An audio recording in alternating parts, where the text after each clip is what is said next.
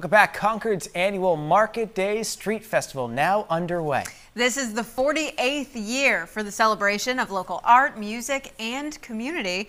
Vendors from all across the Granite State are there. Festival goers can also enjoy all kinds of treats from cotton candy to buffalo burgers.